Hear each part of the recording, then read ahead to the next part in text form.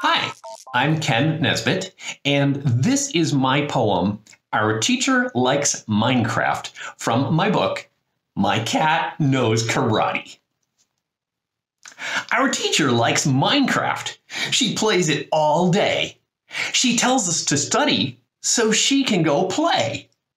She'll dig in her mine, going deeper and deeper, then fight off a skeleton, zombie, or creeper. She'll engineer buildings from dirt, wood, and stone, then go out exploring the landscape alone. She'll build and collect, and she'll run, jump, and swing.